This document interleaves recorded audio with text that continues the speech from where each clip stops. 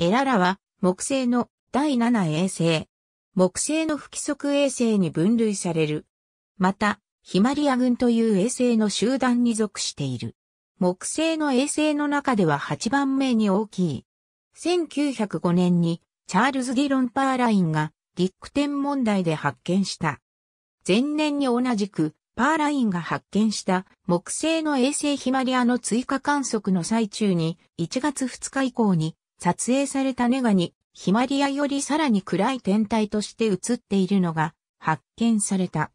その後2月21日と22日の観測でこの天体が木星を公転する天体であることが確認された。なお発見日に関しては1905年1月5日とする記述もある。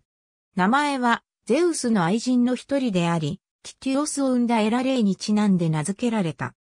発見以降、長い間にわたって命名されておらず、正式に命名されたのは1975年で、それ以前はジュピターセブンとして知られていた。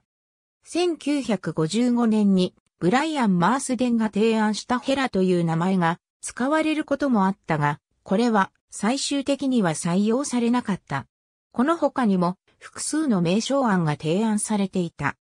エララの等級は16.3であり、アルベドを0.04と仮定した場合の半径は 43km と推定される。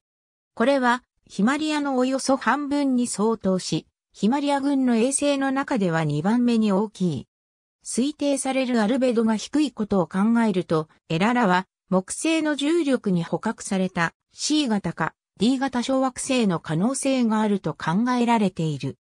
2007年2月から3月にかけて、冥王星探査機ニューホライズンズが木星をフライバイした際に探査機に搭載されている望遠カメラのローリーによって数枚の画像が撮影された。この観測からはエララの自転周期が12時間であることが分かっている。ありがとうございます。